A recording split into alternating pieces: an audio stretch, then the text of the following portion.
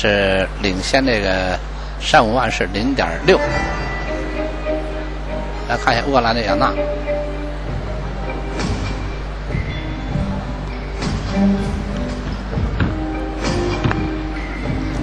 亚娜也是后团两周出场。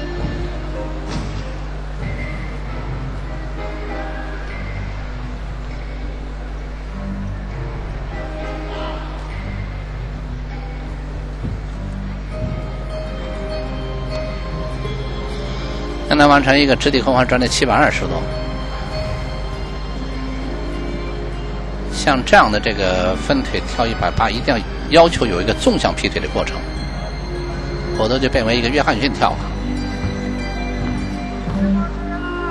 像这种空翻的连接没有连接价值，它主要是满足一个背面，我们已经多次给大家介绍了。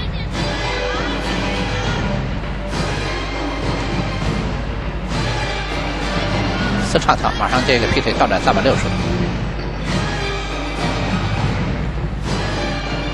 这个重心虽然不稳，但是难度还是比较高。舞蹈动作难度是很重要的。现在舞蹈动作不是一点，是一套动作的这个得分的一个来源之一了。而且有的高水平运动员是一个重要的来源了。